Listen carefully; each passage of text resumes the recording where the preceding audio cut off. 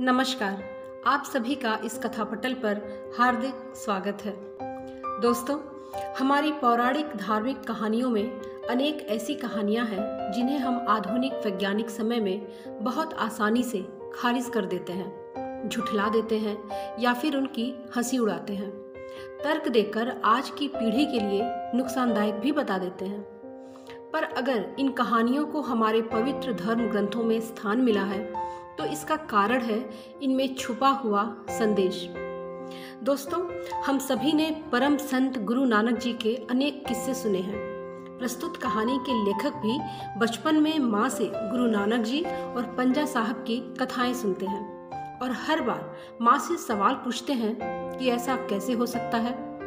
पर माँ कहती कि गुरु पर भरोसा रखो तो सब होता है। पर लेखक ने उस कहानी को सिर्फ़ कहानी ही समझा। आगे चलकर लेखक के जीवन में ऐसा क्या हुआ कि बचपन में सुनी गई गुरु नानक जी की कहानी उसे एकदम सच्ची लगती है? तो आइए सुने। प्रसिद्ध पंजाबी, हिंदी, उर्दू और अंग्रेज़ी में लिखने वाले प्रसिद्ध लेखक और पद्म भूषण से सम्मानित श्री करतार सिंह जी की कहानी करामात। और फिर बाबा नानक घूमते हुए हसन अब्दाल के जंगल में जा निकले। गर्मी सख्त थी। चिलचिलाती धूप। चारों ओर सुनसान, पत्थर ही पत्थर, रेत ही रेत, झुलसी हुई झाड़ियाँ, सूखे हुए पेड़। दूर तक मनुष्य की जाति नज़र नहीं आती थी। और फिर, अम्मी, मैं उत्सुक हो रहा था। बाबा नानक अपने ध्यान में मग्न चलते जा रहे थे कि उनके शिष्य मर्दाने को प्यास लगी। पर वहाँ पानी कहाँ? बाबा ने कहा, भाई मर्दाने, सबर करो। अगले गाँव पहुंचकर जितना तुम्हारा जी चाहे, पानी पी लेना। किंतु मर्दाने को तो सख्त प्यास लगी थी। बाबा नानक यह सुनकर चिंता में पड़ गए। इस जंगल में पानी तो दूर दूर तक नहीं था, और जब मर्दाना जिद कर बैठता तो सबके लिए बड़ी मुश्किल हो जाती। बाबा ने फिर समझाया, मर्दाने, यहाँ पानी कहीं भी नहीं। सबर कर लो, भगवान की इच्छा मान लो। किंतु मर्दाना तो वहीं बैठ गया, एक कदम और उससे आगे नहीं चला गया। बाबा पेशो पेश में पड़ गए। गुरु नानक मर्दाने जी की जिद को देखकर बार बार मुस्कुराते, हैरान होते। आखिर जब बाबा ने मर्दाने को किसी तरह मानते न पाया तो वह अंतर्धान हो गया। जब गुरु नानक की आँख खुली, तब मर्दाना मछली की तरह तड़प रहा था।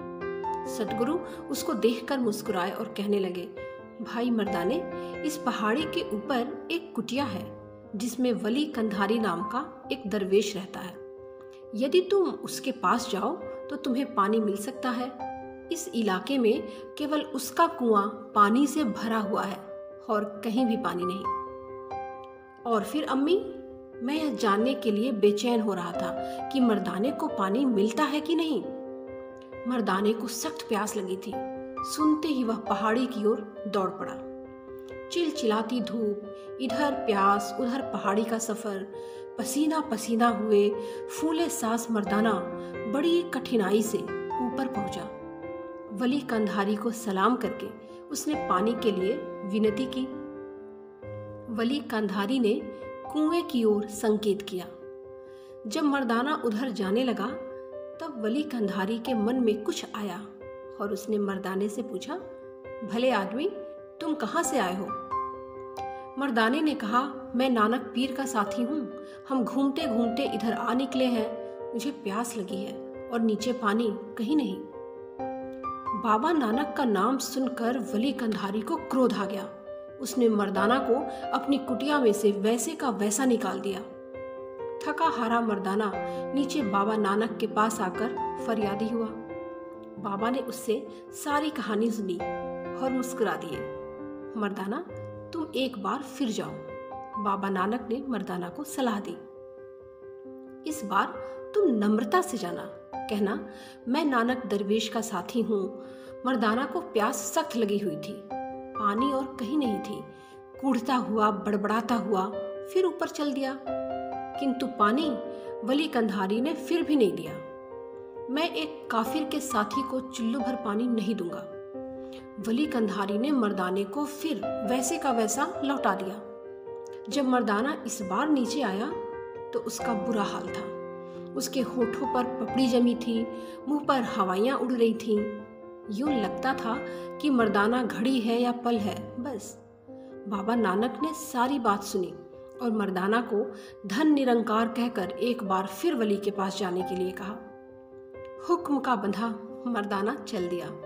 लेकिन उसको पता था कि उसकी जान रास्ते में ही कहीं निकल जाएगी। मर्दाना तीसरी बार पहाड़ी की चोटी पर वली कंधारी के चरणों में जा गिरा। किंतु क्रोध में जल रहे फकीर ने उसकी विनती को इस बार भी ठुकरा दिया। नानक अपने आप को पीर कहलवाता है और अपने मुरीद को पानी का एक घूंट भी नहीं पिला सकता। वली कंदारी ने उसे लाख लाख ताने दिए। मर्दाना, इस बार जब नीचे आया तो प्यास से निर्बल होकर बाबा नानक के चरणों में बेहोश हो गया। गुरु नानक ने मर्दाना की पीठ पर हाथ फेरा, उसको हौसला दिया और जब मर्दाने ने आँख खोली तो बाबा ने उसे सामने एक पत्थर उखाड़ने के लिए कहा। मर्दाना ने पत्थर उठाया और नीचे से पानी का झरना फूट निकला। जैसे एक नहर पानी की बहने लगी हो और देखते ही देखते चारों ओर पानी पानी हो गया हो। इतने में वली कंधारी को पानी की आवश्यकता हुई। कुएँ में देखा तो पानी की एक बूंद भी नहीं थी और वली कंधारी बड़ा हैरान हुआ। नीचे पहाड़ी के दामन में चश्मे फूट रहे थे, नदियाँ बह रही थीं। दूर, बहुत दूर, एक कीकर के नीचे, वली कंधारी ने देखा, बाबा नानक और उनका साथी बैठे थे। क्रोधवश क्रोधवश वली ने चट्टान के एक टुकड़े को अपने पूरे ज़ोर से लुढ़काया और इस तरह पहाड़ी की पहाड़ी अपनी ओर आती देखकर मर्दाना चिल्ला उठा। बाबा नानक ने धीरज से मर्दाना को धन निरंकार कहने के लिए कहा और जब पहाड़ी का टुकड़ा बाबा के सिर के पास आया, गुरु नानक ने उसे हाथ देकर अपने पंजे से रोक लिया। और हसन अब्दाल ने, जिसका नाम अब पंजा साहब है, अभी तक पहाड़ी के टुकड़े पर बाबा नानक का पंजा लगा हुआ है। मुझे यह कहानी बड़ी अच्छी लग रही थी। पर जब मैंने यह हाथ से रोकने वाली बात सुनी तो मेरे मुँह का स्वाद फीका हो गया। यह कैसे हो सकता था? कोई आदमी पहाड़ी को किस तरह रोक सकता है? और पहाड़ी में अभी तक बाबा नानक का पंजा लगा हुआ है? मुझे जरा विश्वास नहीं आया। बाद में ना किसी ने खोद दिया होगा। मैं अपनी माँ के साथ कितनी देर बहस करता रहा। यह तो मैं मान सकता था कि पत्थर के नीचे से पानी फट आए। विज्ञान ने कई ऐसे विधान बताए हैं, जिनसे जिस स्थान पर पानी हो, पता लगाया जा सकता है। पर एक आदमी, पर एक आदमी का लुढ़कती हुई आ रही पहाड़ी को रोक लेना, मैं यह नहीं मान सकता था। मैं नहीं मान रहा था और मेरी माँ मेरे मुँह की ओर देखकर चुप हो गई। कोई लुढ़कती हुई आ रही पहाड़ी को कैसे रोक सकता है? मुझे जब भी इस साखी का ख्याल आता, मैं फीकी सी हँसी हंस देता। फिर कई बार कई बार यह साखी गुरुद्वारे में सुनाई गई। किंतु पहाड़ी को पंजे से रोकने वाली बात पर मैं हमेशा सिर मारता रहा। यह बात मैं नहीं मान सकता था। एक बार यह साखी हमारे स्कूल में सुनाई गई। पहाड़ी को पंजा के साथ रोकने वाले भाग पर मैं अपने शिक्षक के साथ विवाद करने लगा। करने वाले लोगों के लिए कोई बात कठिन नहीं। हमारे अध्यापक ने कहा और मुझे चुप करवा दिया। मैं चुप तो हो गया, परंतु मुझे विश्वास नहीं हुआ। आखिर आखिर पहाड़ी को कोई कैसे रोक सकता है? मेरा जी चाहता मैं ज़ोर ज़ोर से पुकारूं। बहुत दिन नहीं गुजरे थे कि हमने सुना पंजा साहब में साका हो गया है। उन दिनों साके बहुत होते थे। जब भी कोई साका होता तो मैं समझ लेता, आज हमारे घर में खाना नहीं पकेगा। रात को नीचे फर्श पर सोना होगा। लेकिन यह साका होता क्या है? मुझे नहीं पता था। हमारा गाँव पंजा साहब से कोई ज़्यादा दूर नहीं था। और जब इस साके की सूचना आई तो मेरी माँ पंजा साहब चल दी। साथ में मैं था, मुझसे छोटी बहन थी।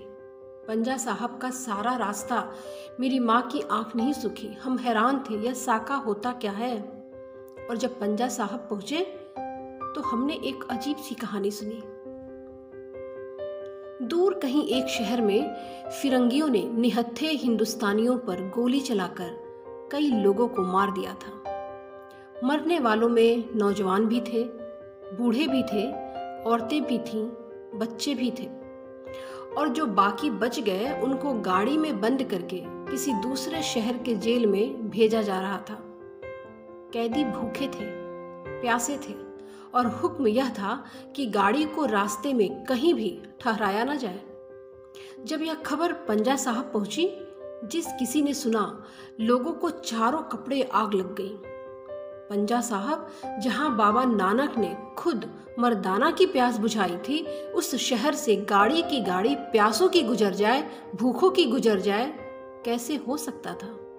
और फैसला हुआ कि गाड़ी को रोका जाएगा। स्टेशन मास्टर को अर्जी दी गई, टेलीफोन हुआ, तार गए, पर फिरंगी का हुक्म था, गाड़ी रास्ते में कहीं भी रोकी नहीं जाएगी। और गाड़ी में आज़ादी के परवाने देशभक्त भूखे बैठे थे। उनके लिए पानी का कोई प्रबंध नहीं था। उनके लिए रोटी का कोई इंतज़ाम नहीं था। गाड़ी को पंजा साहब नहीं रुकना था। लेकिन पंजा साहब के लोगों का यह फैसला अटल था। कि गाड़ी को अवश्य रोक लेना है और शहर वासियों ने स्टेशन पर रोटियों के, खीर के, पूड़ी के, दाल के ढेर लगा दिए। पर गाड़ी तो एक आंधी की तरह आएगी और तूफ़ान की तरह निकल जाएगी, उसको रोका कैसे जाए? और मेरी माँ की सहेली ने हमें बताया, उस जगह पटरी पर पहले वह लेटे, मेरे बच्चों के पिता, फिर उनके साथ, उनके और साथी लेट गए। उसके बाद हम पत्तियाँ लेटी, फिर हमारे बच्चे। और फिर गाड़ी आई। दूर से चीखती हुई, चिल्लाती हुई, सीटियों पर सीटियाँ मारती हुई, अभी दूर ही थी कि आहिस्ता हो गई। पर रेल थी, ठहरते ठहरते ही ठहरती। मैं देख रही थी कि पहिए उनकी छाती पर कैसे चढ़ गए, फिर उनके साथ वाले की छाती पर, और फिर मैंने आँखें बंद कर ली। मैंने आँखें खोली तो मेरे सिर के ऊपर गाड़ी खड़ी थी। मेरे साथ धड़क रही छातियों में से धन निरंकार धन निरंकार की आवाज़ आ रही थी और फिर मेरे देखते देखते गाड़ी पीछे हटी। गाड़ी पीछे हटी और पहियों के नीचे आई लाशें टुकड़े टुकड़े हो गई। मैंने अपनी आँख से लहू की धारा को देखा। बहती बहती कितनी ही दूर एक पक्के बने नाले के पुल के नीचे चली गई थी और मैं हक्का बक्का हैरान था। मुझसे एक बोल न बोला गया, सारा दिन मैं पानी का एक घूंट न पी सका। शाम को जब हम लौट रहे थे, रास्ते में मेरी माँ ने मेरी छोटी बहन को पंजा साहब की साखी सुनाई। कैसे बाबा नानक मर्दाना के साथ इस ओर आए? कैसे मर्दाना को प्यास लगी? कैसे बाबा ने वली कंधारी के पास मर्दाना को पानी के लिए भेजा? कैसे वली कंधारी ने दोनों बार मर्दाना को निराश लौटा दिया? कैसे बाबा नानक ने मर्दाना को एक पत्थर उठाने के लिए कहा? कैसे पत्थर के नीचे से पानी का झरना फूट निकला और वली कंधारी के कुएँ का सारा का सारा पानी नीचे खिंचा हुआ आ गया? और फिर? और फिर कैसे क्रोध में आकर वली कंधारी ने ऊपर से पहाड़ का टुकड़ा लुढ़का दिया? कैसे मर्दाना घबराया, परंतु बाबा नानक ने अपने हाथ से पहाड़ के टुकड़े को थाम लिया। लेकिन पहाड़ को कोई कैसे रोक सकता है? मेरी छोटी बहन ने सुनते सुनते झट मेरी माँ को टोका। बीच में मैं बोल पड़ा, क्यों नहीं रोक सकता? आंधी की तरह उड़ती हुई गाड़ी को अगर रोका जा सकता है तो पहाड़ के टुकड़े को क्यों नहीं कोई रोक सकता? और फिर फिर मेरी आँखों में से छल छल आँसू बहने लगे। करने वालों के लिए, उन लोगों के लिए जिन्होंने अपनी जान पल खेल कर न रुकने वाली ट्रेन को रोक लिया था। और अपने भूखे प्यासे देशभक्त देशवासियों को रोटी खिलाई थी, पानी पहुँचाया था तो देखा दोस्तों, वैज्ञानिक ज्ञान विज्ञान के साथ हमें हमारे धर्म ग्रंथों, हमारे संतों और गुरुओं की वाणियों को भी पढ़ना चाहिए, आत्मसात करना चाहिए, ताकि जीवन के कठिन से कठिन पलों को भी हम गुरु और ईश्वर की कृपा से पार कर जाएँ। सच ही तो है, इंसान चाहे तो क्या नहीं कर सकता कहानी पसंद आने पर लाइक, शेयर और सब्सक्राइब ज़रूर करें। कहानी सुनने के लिए आप सभी का बहुत बहुत शुक्रिया।